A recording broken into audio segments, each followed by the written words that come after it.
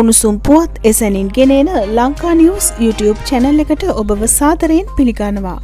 Rambukkana police බල ප්‍රදේශය සඳහා නැවත දැනුම් දෙනතුරු පොලිස් ඇදිරි නීතිය පනවන බවට පොලිසිය දැනුම් දී තිබෙනවා. මහජන සාමය ආරක්ෂා කරමින් නිවෙස්වලට වී සිටින ලෙස පොලිසිය ජනතාවට වැඩිදුරටත් දැනුම් දී තිබෙනවා.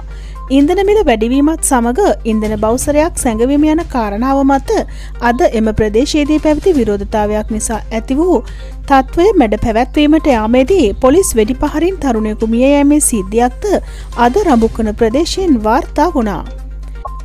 එමෙන්ම දැනට දින එකොළහක් පුරා කොළඹ ගාලු මූදුර පිටියේ අරගලය නිර්තවන අරගලකරුවන් පිරිසකට හෙට උදැස්සන නවයයි තිහට කොළඹ කොටුව පොලිසිය හමුවේ පිණි සිටින ලෙස දන්වා තිබෙනවා. මේ පිළිබඳව අදහස් දැක් වූ සමාජමාධ්‍ය ක්‍රියාකාරකයකු පවසා සිටියේ පොලිසිය හමුවේ පිණී සිටීමට කිසිදු සාධාරණ හේතුවක් ඉදිරිපත් කර නොමැති බවයි. මේ සම්බන්ධයෙන් ඔවුන් සිය නීතිඥයන් සමඟ සාකච්ඡා කිරීමෙන් අනතුරුව මේ සම්බන්ධයෙන් මානව හිමිකම් කොමිසම හමුවේ පැමිණිලි කිරීමට තීරණය කළ බව පවසා සිටියා.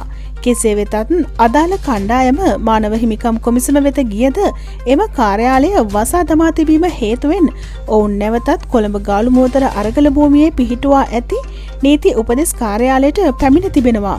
එහි සිටින නීතිඥයෙන් හමුවී අවශ්‍ය උපදෙස් ලබා ගැනීමෙන් අනතුරුව ඉදිරි ක්‍රියාමාර්ග තීරණය කරන බවයි ඔවුන් වැඩිදුරටත් සඳහන් කළේ.